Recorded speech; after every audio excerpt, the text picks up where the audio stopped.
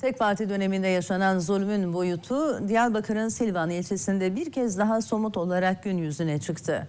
Çobanlar bir mağaranın içine gömülmüş onlarca Kur'an-ı Kerim, Elif Bağ ve Mevlid buldu.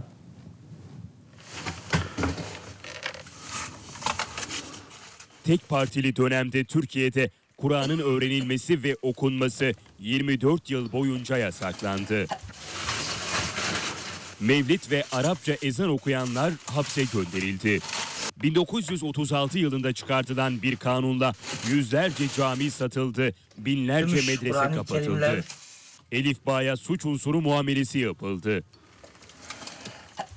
Dine ait her şeyin yasaklandığı bu dönem 1950 yılında Demokrat Parti'nin iktidara gelmesine kadar devam etti. Taraf eski çürümüş Kur'an-ı Kerimler.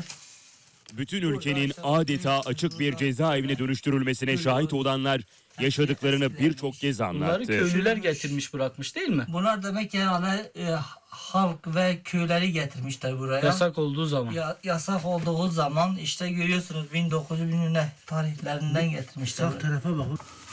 Bu zulüm Diyarbakır'ın Silvan ilçesine bağlı Badıka bölgesinde bir kez daha somut olarak gün yüzüne çıktı. Dağda hayvanlarını otlatan çobanlar bir mağaranın içine gömülmüş onlarca Kur'an-ı Kerim, Elif Bağ ve Mevlid buldu. O dönemde yaşayan köylülerin evlerindeki Arapça yazılı her şeyi torbalara doldurarak dağdaki mağaraya sakladığı anlaşıldı. Mağaraya yarım saat dağlık ve çalılık alanda yürüdükten sonra dik bir kayanın altından sürünerek girilebiliyor. Kur'an, Kur'an-ı Elif Bağ, Kerimler- Mevlid ve İlmihal gibi onlarca Arapça kitap duvarların arasına bırakılmış. Büyük kısmı çürüyen kitapları bulan çobanlar eserleri poşetlere koyup kayaların üstüne çıkarmış. Bir sürü var burada bir sürü. Mağaranın iç bölgede bulunan ve dış etkenlerden korunan bazı kitapların iç sayfaları ise hala sağlam. Mağarada Kur'an'ın yanı sıra Mela Hüseyin'i Bati'nin Kürtçe Mevlidi, Şafii İlmihali ve Elif Bağlar bulunuyor.